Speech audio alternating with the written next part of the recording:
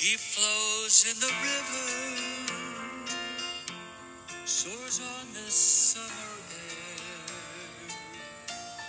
His love is all around you. The Prince of Life is there.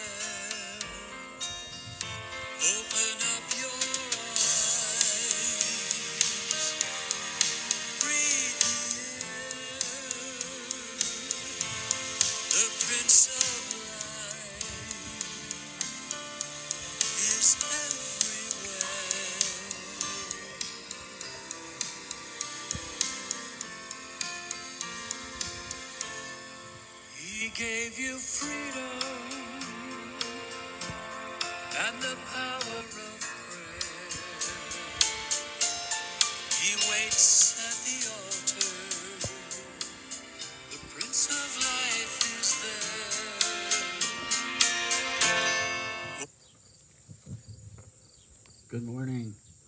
Thanks for joining us. We're uh, in Brownsburg, Indiana today. That's uh, at our friends Jim and Barb's just outside of Indianapolis, and they have a beautiful garden, and you can see we've got moonflowers blooming here as well. We're going to bow our heads in a word of prayer. Lord, uh, we thank you for being the King of Kings and Lord of Lords. And that's what we're talking about this morning. In Jesus' name, we pray. Amen. The title of this, this talk is actually The Seventh Trumpet. And the reason why I want to talk about that, it, it's described in the book of Revelation, and it will be a pivotal moment in world history. This is when Jesus will take full authority over the entire earth for the first time. Now, some people might say, well, doesn't God control the earth now? Isn't he God, you know? Well, that's true, but the Bible says it right now. The whole world lies in the power of the evil one. And Jesus taught us to pray in the Lord's Prayer, Thy kingdom come, Thy will be done on earth as it is in heaven. So right now, God's will is not being done on the earth as it is in heaven. You know, we don't have to look very far to see things happening that are not according to the will of God. That's not what we would expect to be happening in heaven. So we play a part. It's interesting because Jesus has given us the power to play a part in preparing the way for him to rule and reign. We pray, Thy kingdom come. He instructed us to do that. Thy kingdom come, Thy will be done. So we play an important part in this.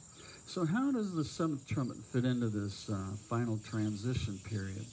You know, we have in the book of Revelation this description in the middle of the book. Um, you look at chapters 4 through 19. You know, it's the heart of the book. It's centered around the breaking of seven seals of a scroll. You know, where the where Jesus comes and he is the only one worthy to open the scroll that's in God's hands, and it leads into the seven-year period. It describes the seven-year period that's associated with Christ's return, and it culminates towards the end of the seven-year period with the seventh trumpet being sounded. This is where Jesus assumes complete control over the earth for the first time since the Garden of Eden. The importance of this event cannot be overemphasized. It occurs towards the end. It's and it, and most of this part of the book of Revelation, it's like 16 chapters.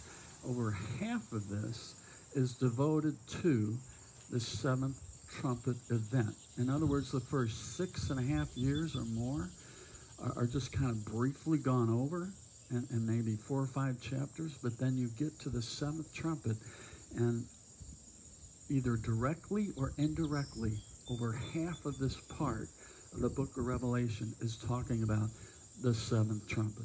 This is huge. So, why is it important to know this? Well, there's hope for the future. There's a new day coming. God is going to win in the end. He will overthrow Satan and the kingdom of the Antichrist. The world will not always be polluted by sin and death. We'll be entering into a new era. Now, at best, I think we have a vague understanding of what this means. It's difficult for us to get our head out of this earthly realm, you know, because we're earthly beings, you know, for this time. And it's difficult for us to realize what's coming right around the corner. Jesus is about to invade this earthly realm with the kingdom of heaven. So maybe to get a better feel for this, that heaven is not just a retirement home we're going to. You know, there, there's much more going on than that.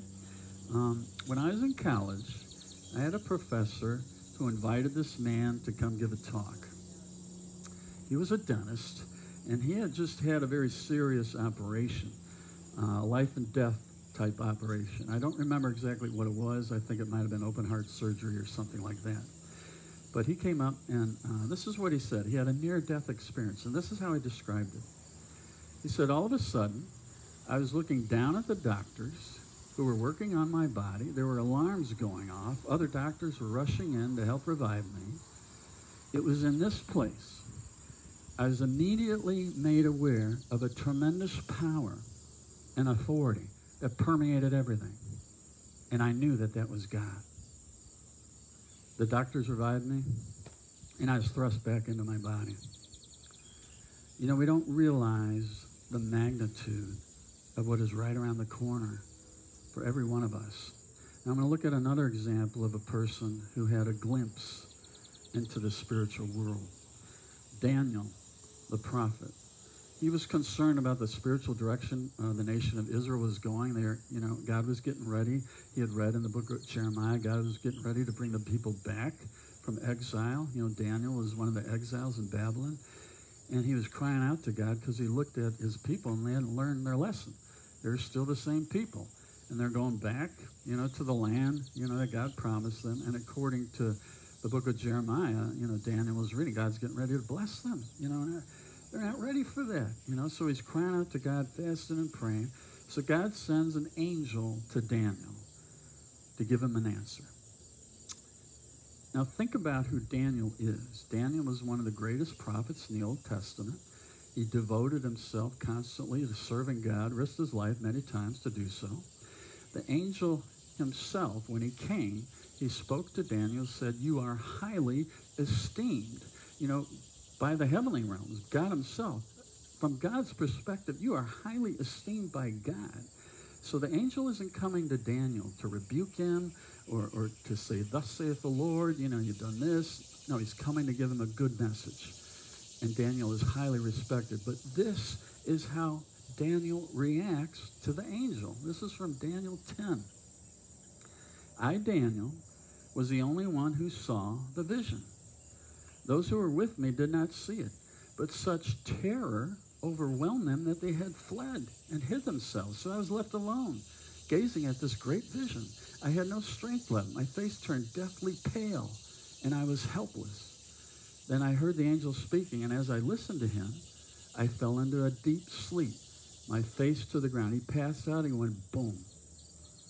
A hand touched me and set me trembling on my hands and knees. So uh, the angel touches him and he gets some strength. He gets on his hands and his knees and he's trembling.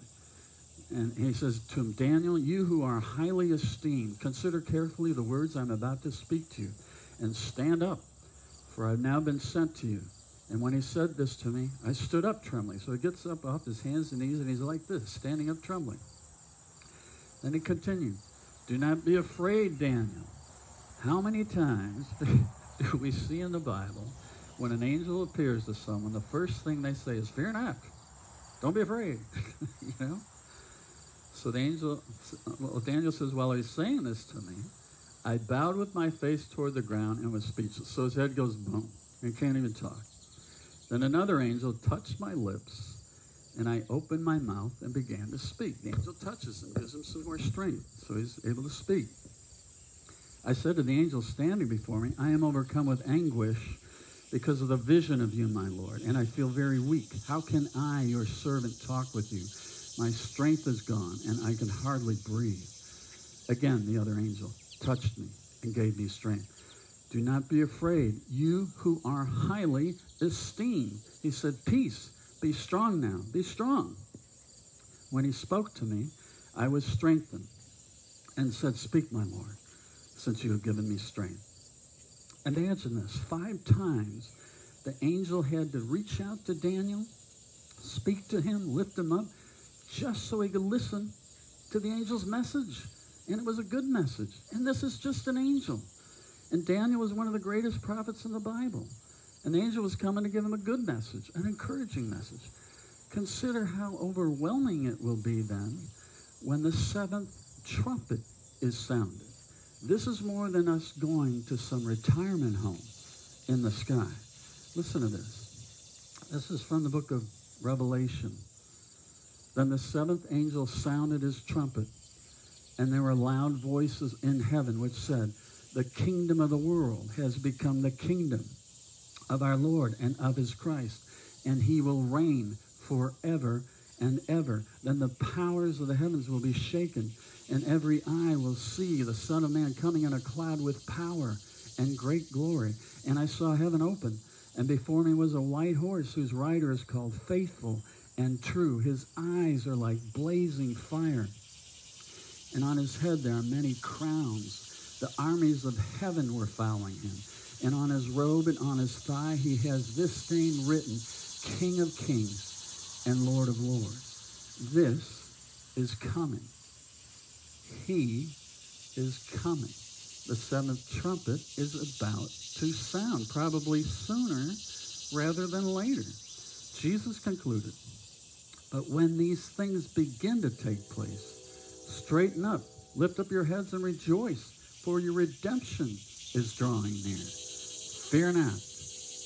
Don't be afraid. Jesus is coming. May the Lord bless us and keep us. May the Lord make his face to shine on us and be gracious to us. May the Lord lift up his countenance upon us and give us his peace. In Jesus' name we pray. Amen. Whenever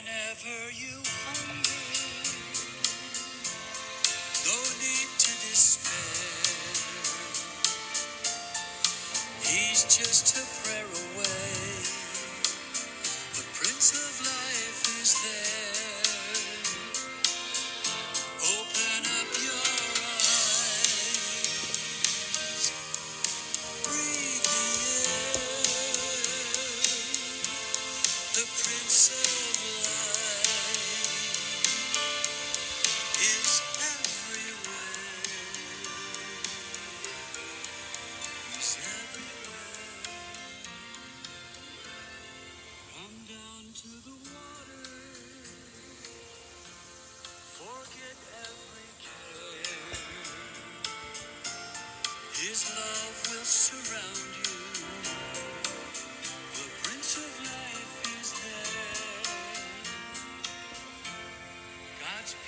will astound you.